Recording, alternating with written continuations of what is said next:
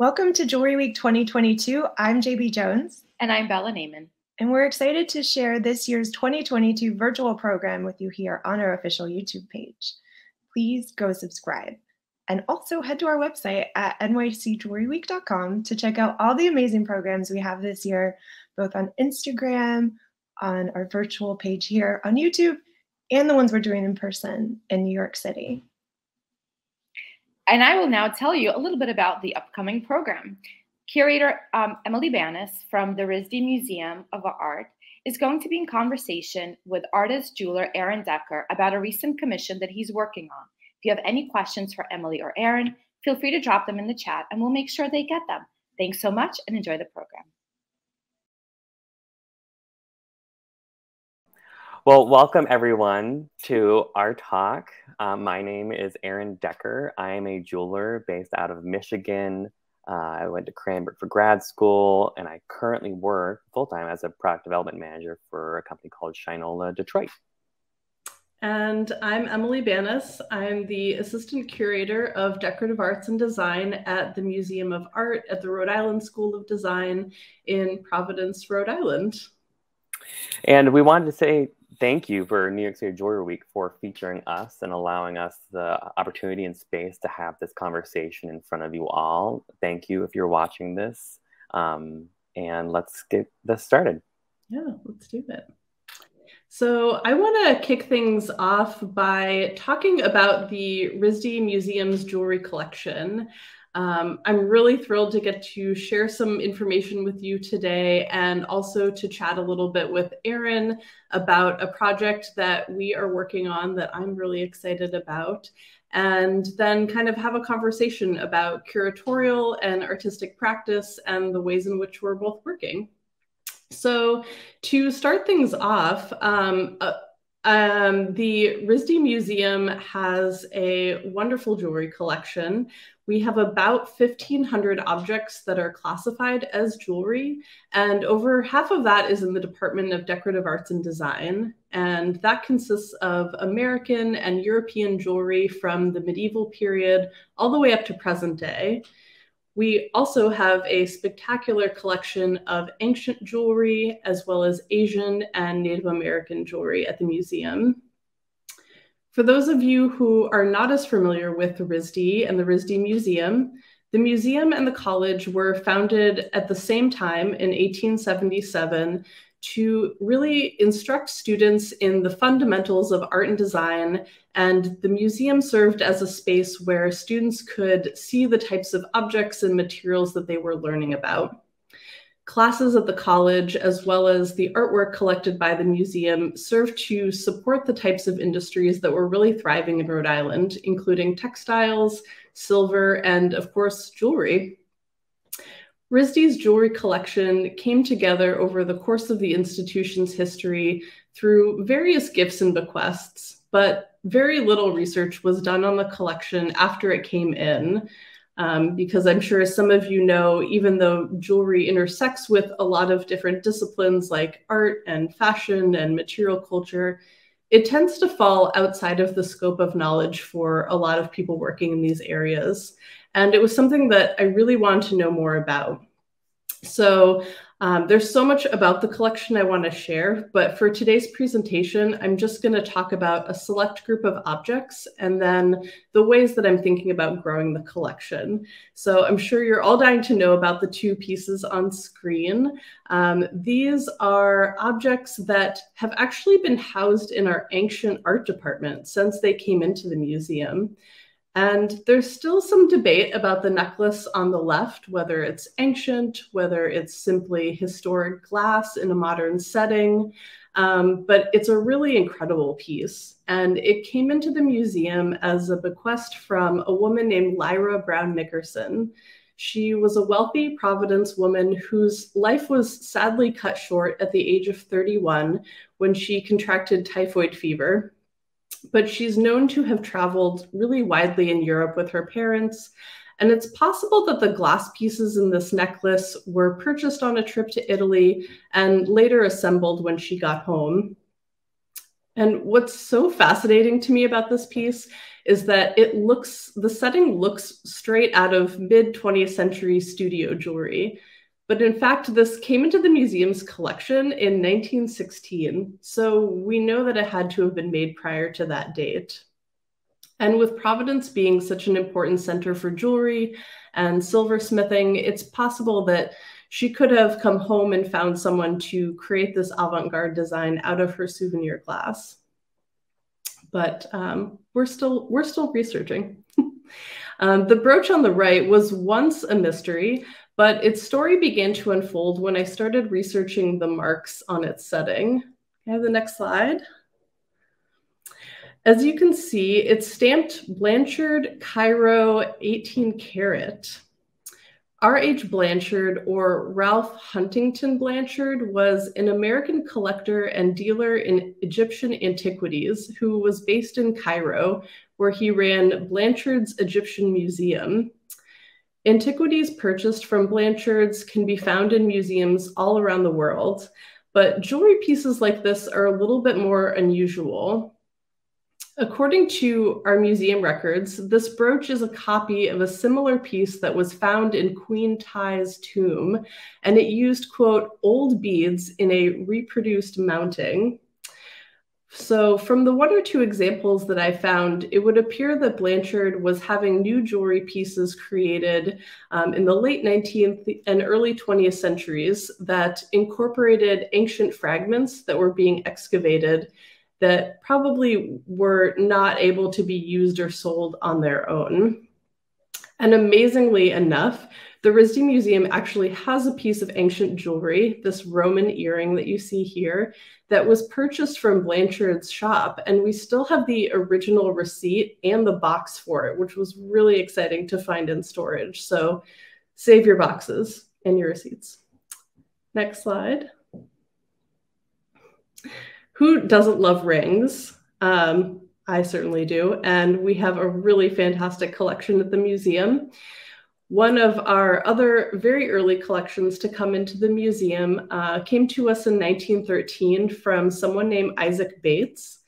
And he was a Providence merchant in the late 19th century who had a great interest in art and uh, support of local artists. In fact, the RISD Museum has about 1,300 works of art that were gifted by Bates, and over 300 of those are jewelry. One of the most exciting aspects of this collection is the rings. And in a catalog about Bates's collection, it says that, quote, the rings were not selected at first with much regard to the country or period in which they were made, but they were picked up from time to time because of some beauty or ingenuity of design or clever workmanship. The field of interest was so broad, so the choice might be a Venetian jewel or a peasant ring from Bavaria. End quote. Like most of our jewelry collections, the majority of these rings are unmarked and given that styles and ideas and craftsmen traveled widely throughout Europe, we can't say with any certainty where most of these rings were made. However, we've made a lot of headway in dating these rings, and thanks to the fantastic work of our volunteer gemologist, Teresa Baybutt, we've been able to identify the gems and minerals in a lot of these pieces, which has given us a really great jumping off point for research. Can you get the next slide? Similar to our glass necklace from Lyra Brown Nickerson, we know that many of our jewelry pieces were souvenirs that were picked up during European travels, like these wonderful micro mosaics from Italy. There are other pieces, though, that have a more distinct and personal history that were likely made and passed down through generations of a family before ending up in the museum's care. Next slide. The earliest jewelry pieces that actually came into the museum came in in 1902, and those were jewelry that were made of or with hair. We often refer to these types of works as mourning jewelry, um, which was made from the hair of the deceased in a way of both mourning and remembering the life of a loved one. Mourning jewelry is often distinguished by symbols of death, such as skulls, urns, weeping willow trees, or images of mourners like you see here. Next slide. They can also contain inscriptions with a name, date, or message about the departed, such as this pin that was made out of gold, hair, and with mother of pearl. Um, the mother of pearl um, often indicated the loss of a child. Next slide. But as I mentioned, this type of jewelry was um, often made from the hair of a living person.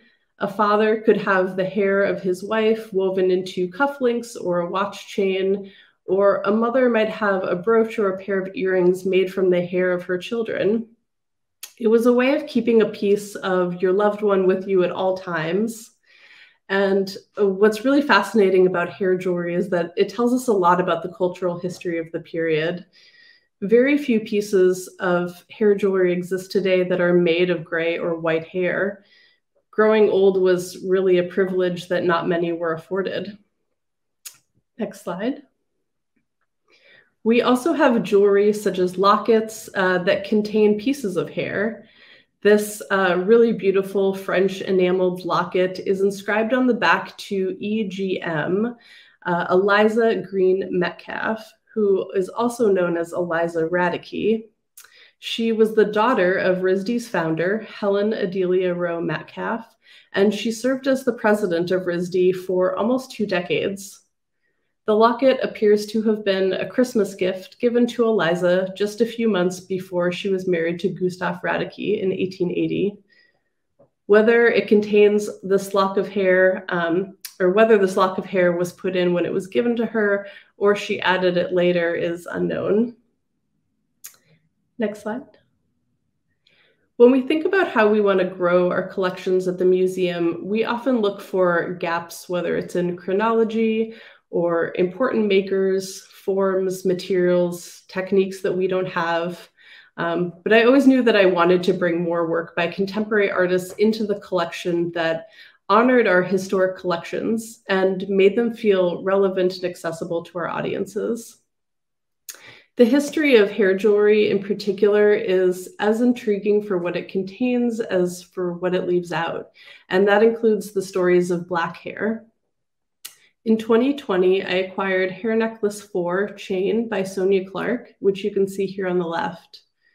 A trained textile artist, Clark's deep appreciation for craft propels her use of everyday objects, such as hair, to address identity politics, collective fortitude, and social justice.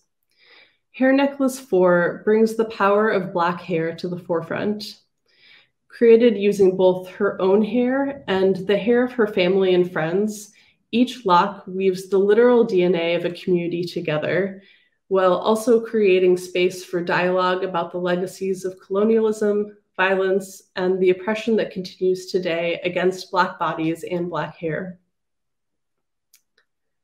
Acquired in 2021, Melanie Bilenker's work returns to the singular individual as a focus, this time with the artist herself, and in a way that pushes the boundaries of what is typically regarded as hair jewelry.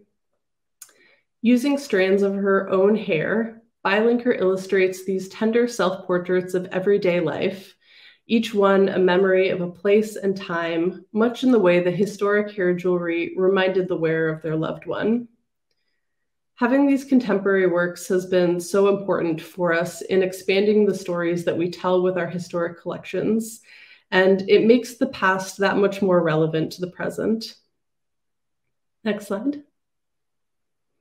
This recent acquisition, which is currently on view at the RISD Museum, speaks to rituals of mourning, but in a slightly different way. This is Lucy Jockel's Bee Wing lace neck piece. Lucy is a RISD alumna who graduated with her MFA in jewelry and metalsmithing in 2016.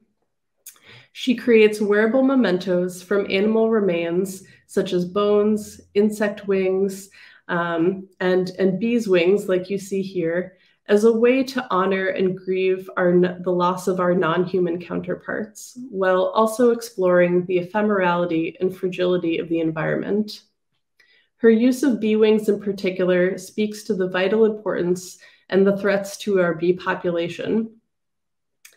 Originally, I had planned to purchase a work from Lucy uh, that had already been made, but when I learned that the bees in RISD's various hives around campus did not survive the 2019-2020 winter, I came up with the idea of having Lucy create a special work for the museum that would honor the bees and connect to our historic collections.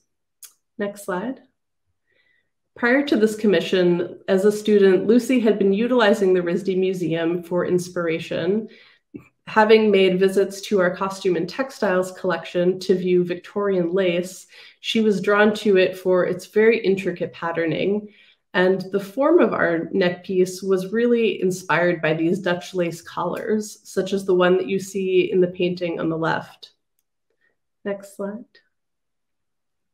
Bee wing lace, Bee wing lace neck piece has really become a touchstone of our collection and a, fantastic example that really illustrates how artists can work with our collection and draw inspiration from multiple sources, while at the same time addressing topics that are ever present in our world.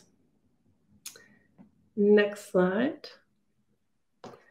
The commission project with Lucy really became a model for how I wanted to engage with artists for special projects um, and that includes a commission that is currently underway with artist Valerie James, who graduated from RISD in 2019 with her MFA in jewelry and metalsmithing.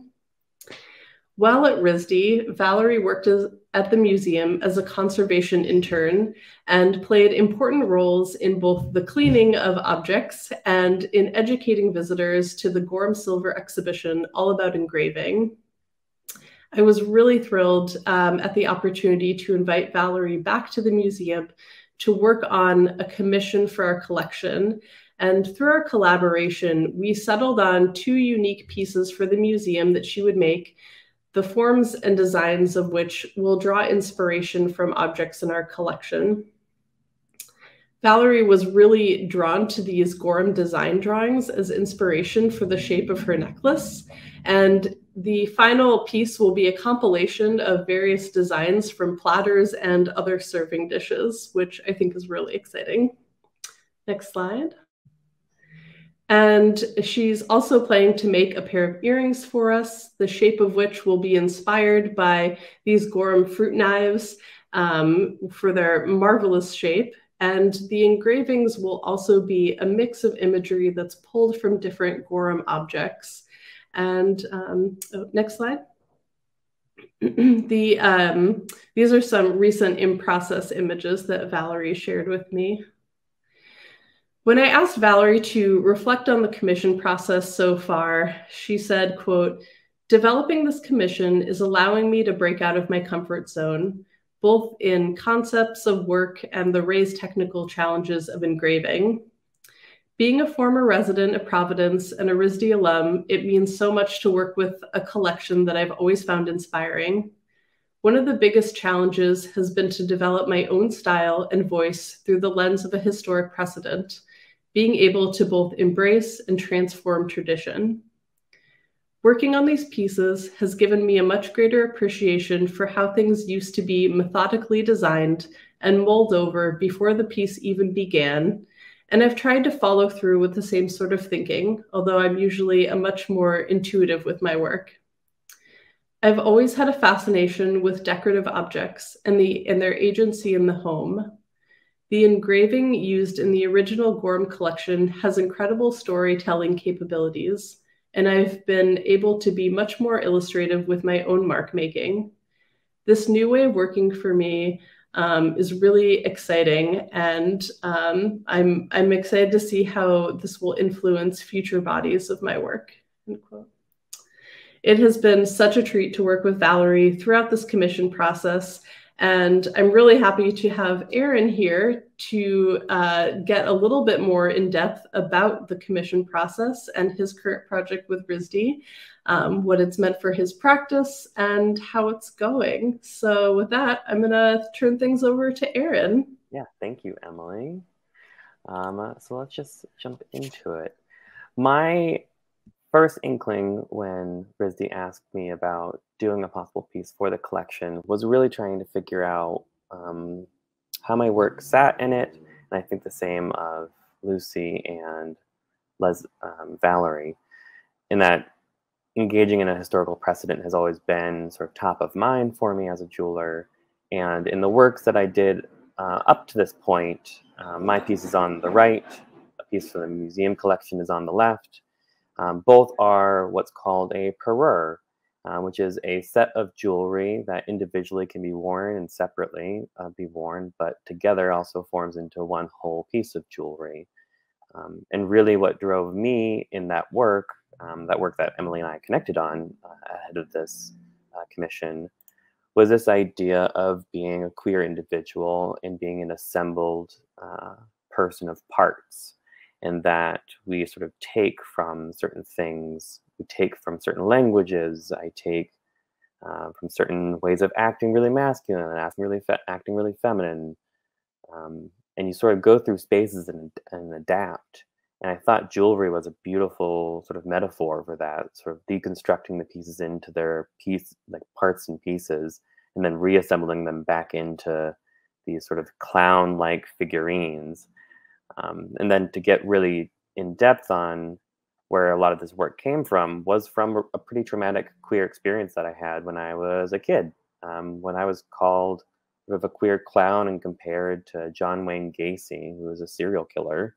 Um, so as an individual who was queer, I had to sort of come into that understanding that that part of myself that most people were fine with, um, there were people in my life that really hated or vilified me, and having to mitigate that and understand that in the jewelry that I'm making, I had these parts and pieces that existed next to each other. And my, like myself, I had those parts and pieces, and depending on who's looking, uh, is sort of depending on what you see. And I think in the RISD collection, especially these sets of jewelry, these beautiful pieces that are sort of like a collection of items, really um, spoke to me and how to think about my work and how to think about coming into that collection in thinking about what I would make or, or why I would make something for the museum. Of course, it's great to be asked to make something for a museum, but I think the more more important question for me was like, yeah, but what does it mean to do that? And I wanted to figure that out before actually saying yes. So that gets to the actual uh, commission, and this is uh, some excerpts from the proposal. The proposal was called Dino Bomb, uh, and it's based off of this idea of making a toy that is a parure.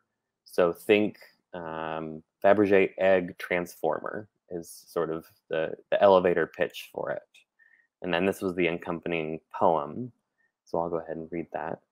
Am I but parts put together haphazardly, some toiling in the sky, looking at my rump, my face, and my feet? Parts of a whole, a worn pair of shoes or washed wool, parts attached to his skin. Look at me, wear these parts, toy with my mouth, take my tail, make me like you. So these are some of the first inspiration images that I proposed in, in this document.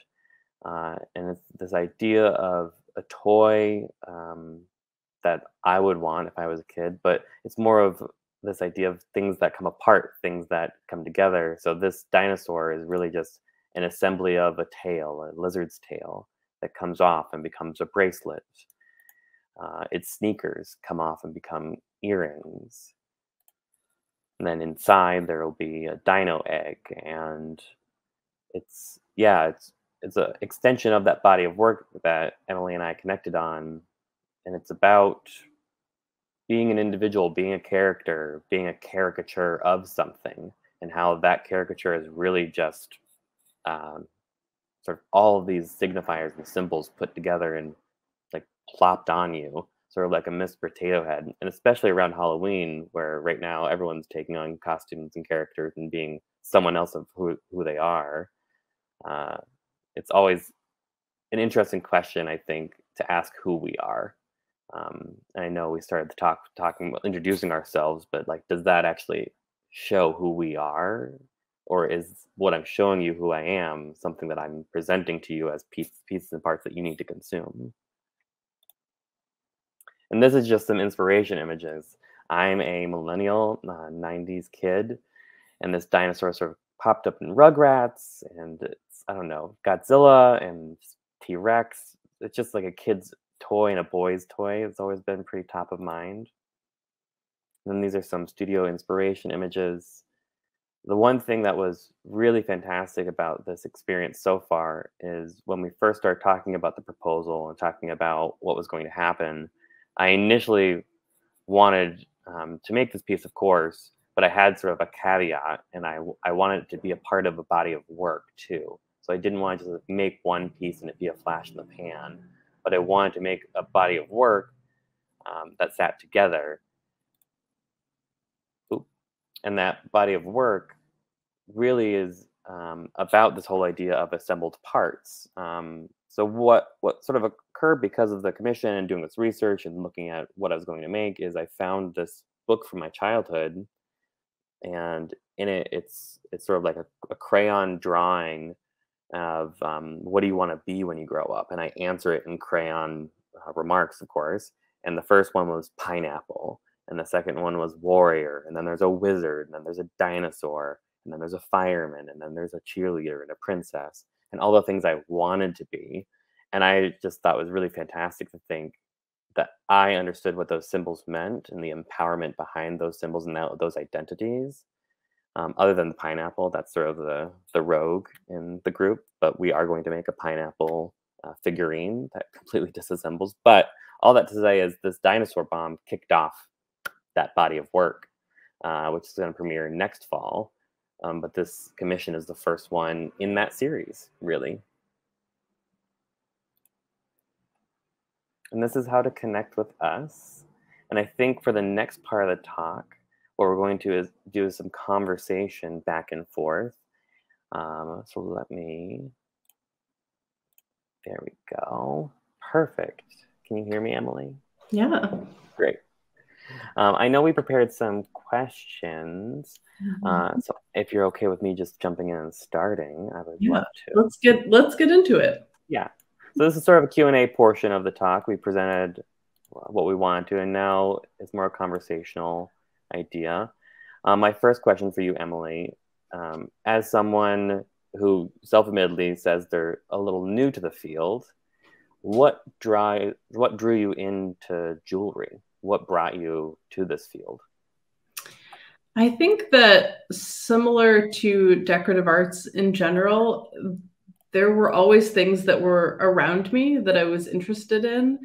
And I didn't really understand how to, you know, how to look at them, how to see them, you know, until I guess, you know, I I, I moved from art history to decorative history of decorative arts and design. And I always like to say that when I first started learning about the history of art, I saw art completely differently. Mm-hmm.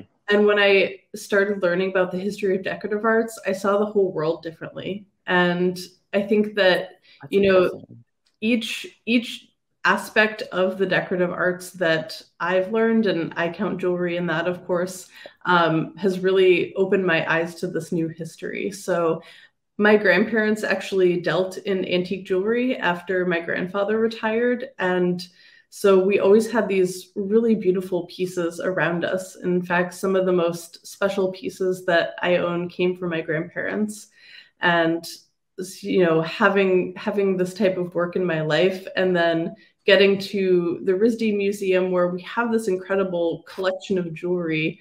And it's almost like this hidden trove of of of wonders where you know nobody has really dived in to learn more about it, you know, made me that much more excited about getting in there and seeing what we have. And figuring out what those stories are because mm-hmm. I have the stories of my own jewelry pieces, you know, where they came from and um, you know, what they meant to my family, but it's really been exciting to dive into our collection and and pull out those stories. And I've learned so much, you know, in the past couple years about where they came from, who owned them, who wore them, you know, who loved them, and who were made for people that they loved. And um, it's it's really special. So I think that one of the things that I really drew me into jewelry was those personal stories and mm-hmm. histories.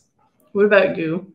you want to talk a little bit more about jewelry? I know you I know you did in your in your Yeah. No, I I would I would love to.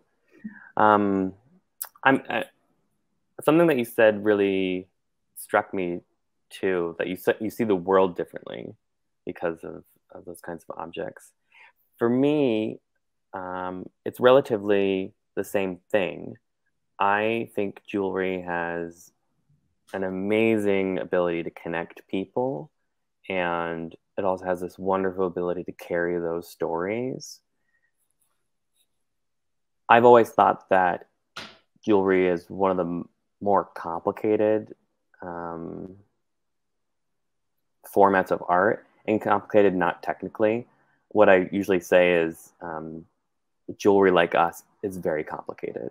Like we're all complicated beings, um, and we're all messy, and that beauty and that messiness is really present in jewelry because it's connected to people, it's connected to lives, it lives with people, it lives through people, it goes across borders, it, it just like lives in people's lives really, where art or painting um, or even drawings, they do live with people, but you don't wear them and they, you don't sort of pass them on and they don't they can mark these really impactful moments but jewelry is that object that marks these really like scintillating moments in one's life that can and they can bring you back to these moments. So i think specifically what you're saying is exactly why i'm also interested in jewelry um, and i think because of that quality i find it really freeing as an artist to work in the format of jewelry because it allows me to one make really crazy things technically that are beautiful and fit in this historical precedent and like all the technical like majesty that's in jewelry is amazing. But the more important thing is that my work gets to live with people and i think that's the like the beauty of it. And i i i think it's not that um, i want my jewelry to all go um, or like live and be sold and be purchased and it's great that my piece is going to live in the museum uh, it's going to have its own life with curators who are going to touch it and experience it, and people after you they're going to experience it. But I really, really love when my work lives with people. I think it's. Uh, I'm really excited for the time that I'm like 75 and someone sends me an email and is like, "This this dinosaur lost a sneaker." like I think that will be my favorite email I've ever received in my life, and I I, I love those kinds of things. That that will be a, a communication for a future curator. Yeah. um, I think the follow up to that question then is um, about this commission process, right?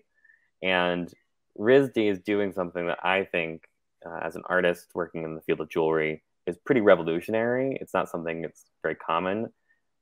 You're actively seeking out younger artists and trying to support them through um, getting them to make work for the collection. And I guess the question is what drives you to engage with artists in this way rather than what museums traditionally do, which is wait for people to sort of get into their golden year careers and start collecting them or purchase them, them slowly from bodies of work. What you're doing is really kind of, um, I don't know, just not, it's not typical. It's not typical. Yeah, yeah. Um, it's it's not, and I think it's a really exciting way that we're able to work at the museum. I remember years ago when I started here, somebody said one of the things that they like most about the RISD Museum is that you know we're we're collecting things that not everyone else is collecting. Yeah. You know, we're kind of we're kind of following our own path. And when I think about you know engaging with artists and bringing work into the collection there's a way to do it hand in hand where you know we're acquiring work from an artist but we're also building a relationship with them mm-hmm. and in thinking about the ways that museums can support artists and museums can be both collectors and supporters and actively engage with the people that we want to bring into our collections. I think commissions are a really incredible way to do that. Um, I was telling someone recently that, you know, it's not a one size fits all process. Mm-hmm. And it's definitely something that I'm sort of learning as I go with each artist, you know, what kind of support everyone needs in this process, you know, how hands on they want me to be, um, you know, how many times we have conversations about the projects and, you know, and, and the timelines and how things are developing. Um, and I think that it, it takes, it takes a really, um, collaborative pair of people to yeah. be able to engage in this process. And it's really a lot of trust that is also, you know, happening between the institution and the artist. You know, we are putting a lot of trust into the artist that, you know, we're buying into this idea, this thing that isn't made, and, you know, that you're going to create something that represents you in the best way possible. And you're also trusting me that I'm going to be able to support you throughout this process and you know recognize that maybe that thing that you proposed isn't actually the the thing that we get in the end and that's okay mm-hmm. because you know your work and your process and how you want to bring this object into the world. And it's my job to support that. Um, so I'm really grateful that, you know, the museum has given me this opportunity to work with artists like yourself um, and to, you know, hopefully create a relationship that lasts beyond this commission. Um, yeah yeah, I, I can say from my perspective as an artist on the receiving end, I'm I'm still kind of just like flabbergasted. Um, and that in a way that's like, oh my God, but in a way it's like it's a really big honor to have the RISD Museum put that trust in me, especially where I am in my career. Like I'm a pretty young artist.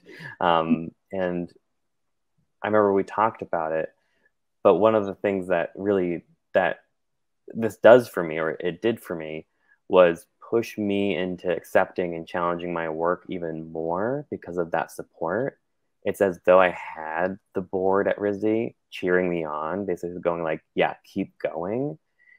And I remember you asked me sort of like, if if you could, what would you make? That's sort of like the craziest thing you've thought about. And I immediately knew. and I was like, this thing. And you're like, okay, we should try that. And I was like, what? We can do that? That's amazing. Um, and not that it's like, I don't know. As an artist, uh, money can be a barrier, but I think the bigger barrier for me in my practice is really that uh, that support, that like your peer support or the support of those new ideas that are hard to have you accept.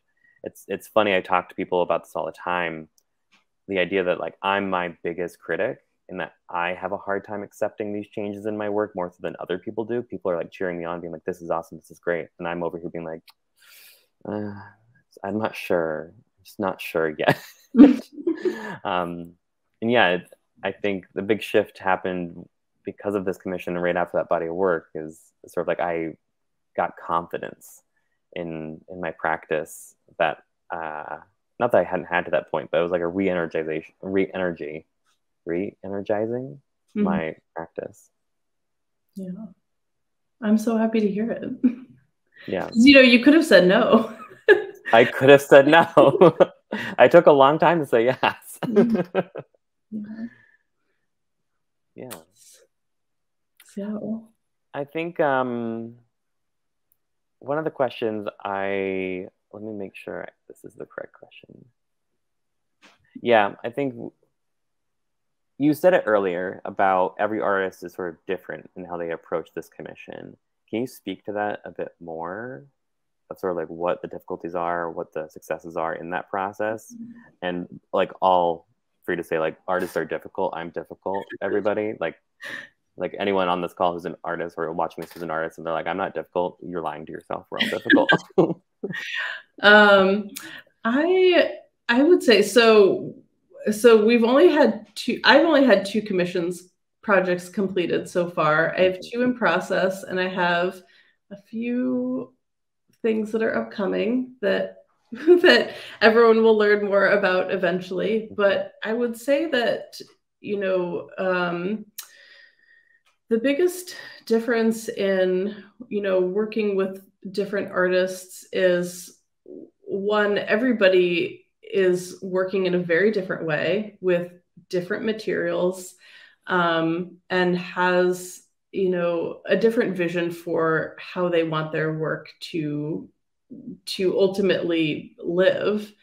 And when i first engaged in conversations with lucy and we were thinking about you know the Bee Wing necklace and how it might look um, you know she provided a few different ideas and you know we kind of went with one idea and then um, and then I didn't hear anything from her for a really long time. Um, and if Lucy, if you're listening to this, that's totally fine. Um, I do the same thing. Amazing. Um, but you know, I think that was one of those things where, like, you know, she had the idea, you know, she had the okay, and then she just like went with it. And I really love and appreciate that because when she finally sent me that email that was like the piece is done i thought oh my god it's done. And and she sent me the image. I was just completely blown away because i had this idea in my mind of you know the type of design that she was going to make. I imagined that she would probably make some alterations to the design once she actually started constructing it because we're talking about hundreds and hundreds of minuscule bee wings put together with minuscule mm. dots of glue, taking you know hours and hours on end. Um, and I figured that once she got started with that process, she was just gonna go with it. So seeing the final object, I was just so blown away by it. Mm. I mean, it was what I expected, and it was like even more than I expected. Yeah. And I had this moment of being like, wow this this you know this object has like has come to life in a way that i didn't even expect and i think that was one of the most exciting things for me about working with her and and engaging in this commission process is like you know i had this idea of what it was going to be and it completely exceeded all expectations so um so the bar is very high yes Yes, it is. Yeah. For everyone. Um, and you know, some of the artists that I that I've been working with since, like you know, you and I have checked in every couple months, and mm-hmm. we've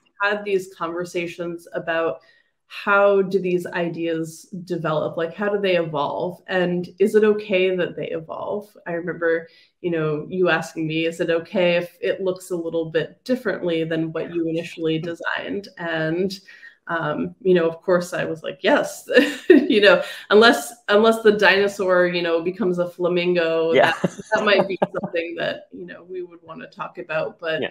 um, I, I, I know your work. I've seen your work. Um, I know what you're capable of, and I I really trust you in this process to create the object the way that you feel like it needs to be created. Mm-hmm. And you know so whatever amount of you know conversation and discussion you know feedback you want to have from me i am so happy to give but i'm also you know will acknowledge that you're the creator of this artwork and yeah. um, and you're the one that is going to bring it to life and knows how you want it to be and yeah. and i'm just here to support that yeah I, I remember sending you um, that email or I think maybe a text message. But I, for me, I come from two two schools of thought. Basically, I am an artist, but I also work very much in product development. So when someone says, um, "Here are these funds to go make this thing," I go, "That's a one to one relationship." Okay, got that. Um, but yeah, as I was going through the idea and it was evolving, um, I wanted the dinosaur to sit instead of stand. and I thought that was just radical. and I was like, this is, they're going to reject, this is not going to work. I can't do this. Um, and I, of course, if you would have said no, would have been like, okay, you're right. I'm going to keep on going with this thing and I will make it the way it needs to be made. Got it. Um, but that, that amount of flexibility, I think, is even commendable from a museum perspective. Um, often I, or yeah, often I have in my head that museums are pretty rigid or strict with what they're doing, why they're doing it, and how they're doing it. And that kind of empathy or compassion or understanding of the artistic process was like a welcome relief. Um, in my studio practice, I'm a bit more of a chaos child, um, where I'm just kind of like a weird scientist working at things, making things happen, moving, taking a lot of time to think through stuff. Um, and then somehow it like pops into being. Uh, and that can be frustrating for people, my gals especially. Sorry, Stefan, if you ever watch this. Um, but it was it was a welcome relief to know that that was okay. That my practice was fine. Like that's normal. And I was like, oh, okay, cool, good, good, we're good. Can you talk a little bit about how you're approaching the commission and how you know you've kind of moved through this process of troubleshooting mm-hmm. and trial and error, and you know what's what's what's keeping you going? Yeah, I think um, what keeps me going throughout all my work, period, is this sort of drive to find um, this thing I haven't found yet. And it's really hard to put my finger on it, but it's sort of like that curiosity part of my practice where if it gets too boring too quick, it, I stop. I, I no longer am interested. So I always have to have some either technical thing, conceptual thing, random thing happening. Um, and that means I'm experimenting a lot or challenging things or fabricating things, making things that aren't the dino bomb to then think about the dino bomb. Um, an, an, example is um, I was teaching at Penland this past summer, and I was um, showing the students the sort of how I use enamels, because I use both um, leaded enamels and unleaded enamels. And for the enamelists, um, and the not or for the non-enamelists, those two glasses don't usually mix when you fire them. They don't mix very well. They're not friendly. Um, so you end up having this weird um, texture that can happen.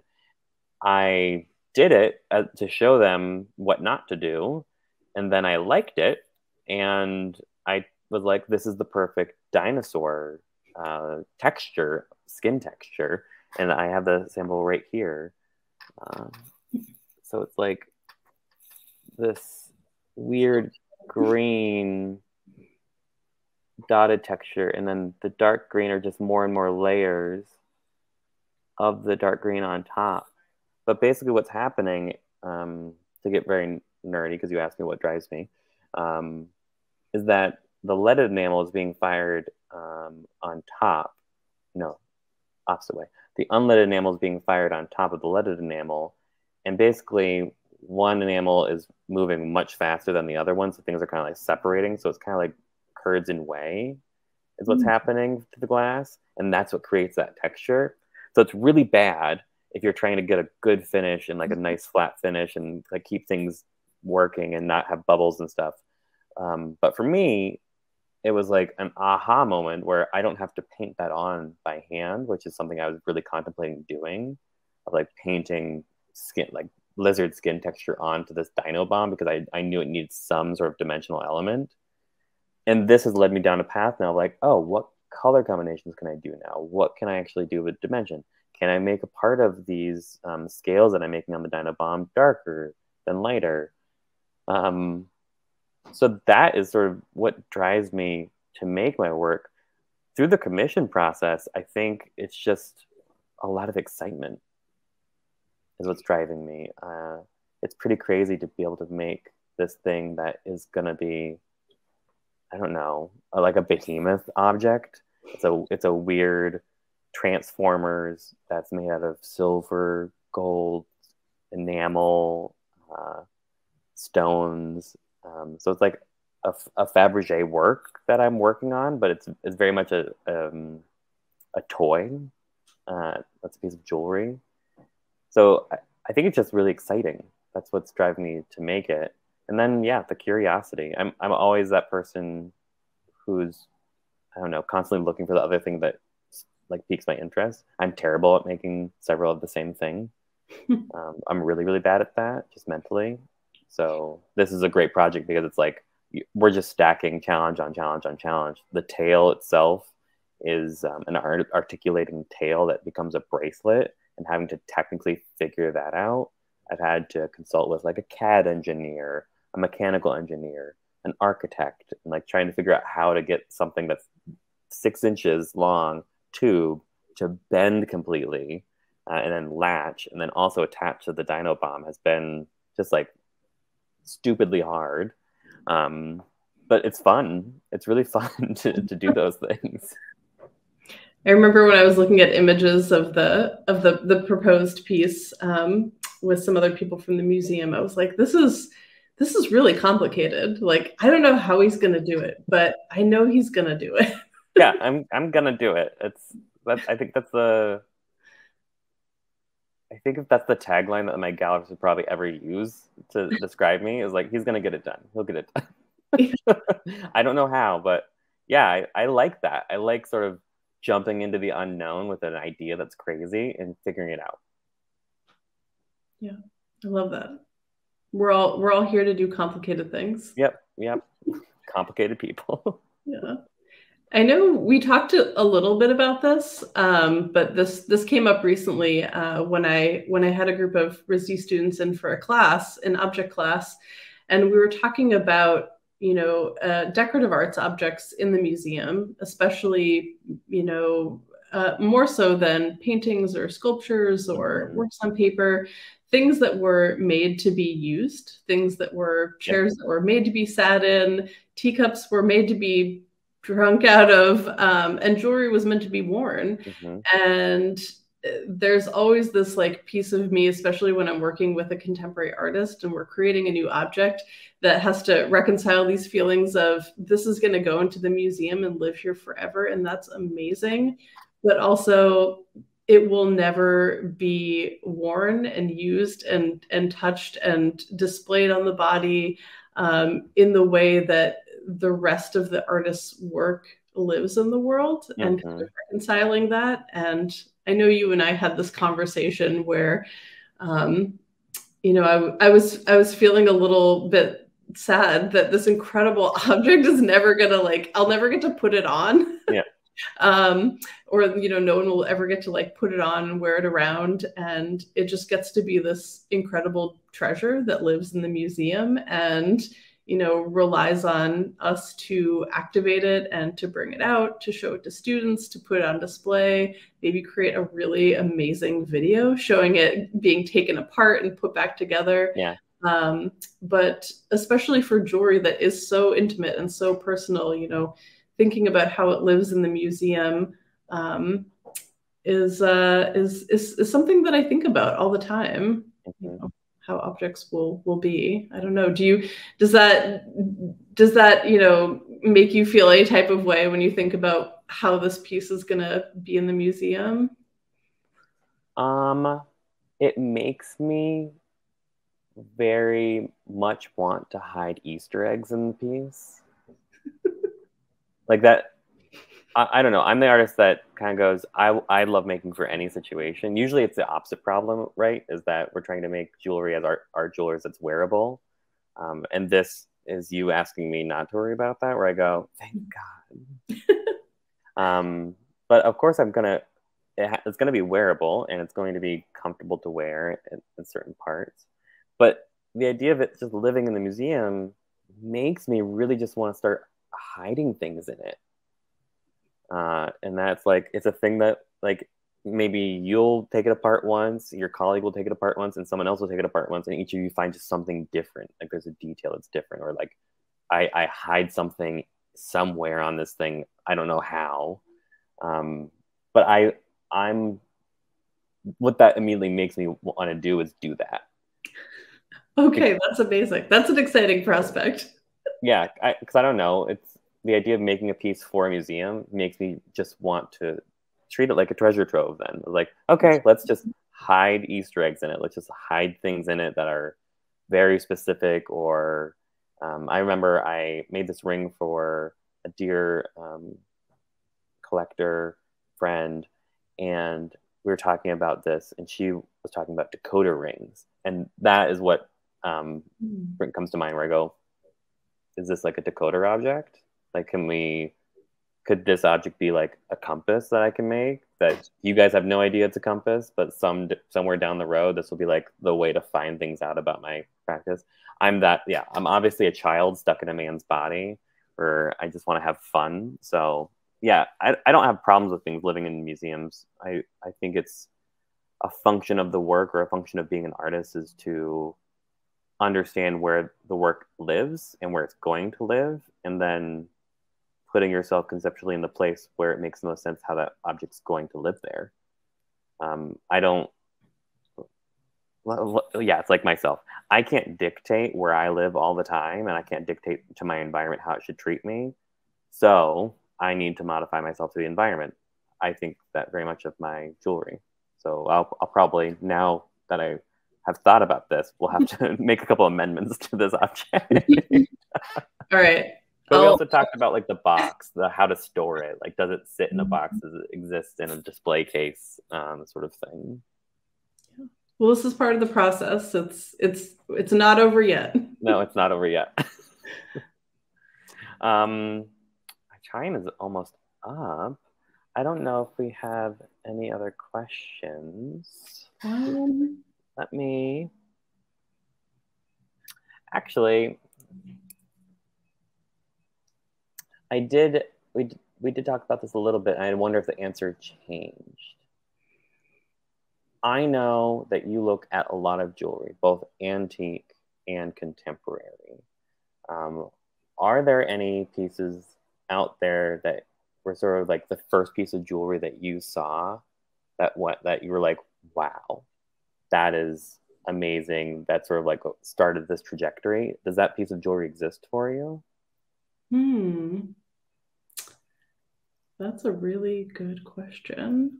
Um, I don't know if that one piece of jewelry exists for me. I think in my head, it's a collection of all the jewelry pieces that I own and all the things that I I see when I'm antiquing and mm-hmm um, and visit in museums. People always ask me what my favorite object in the museum is, and I'm not. Uh, maybe it's my sign. I'm not the type of person who can just choose one thing. Like have everything. yeah. Um, and my brain is just a library of all the things that I've ever, you know, seen. So, so maybe, maybe, maybe somewhere in there, there's one thing, but um, I don't know. When it when it comes to jewelry, I just I have all of these like important things that live in my in my memory that um, that you know kind of served to inspire me to to do this. Mm-hmm. yeah. So what are um yeah I, I'm I can't press on that answer because you don't know. I'm the same way. We're both Aquarius. This is the hard part. Yeah. If someone asked me that question I'd be like I don't know either. Um, I, I, I always say that my like my favorite thing is whatever I'm working on right now.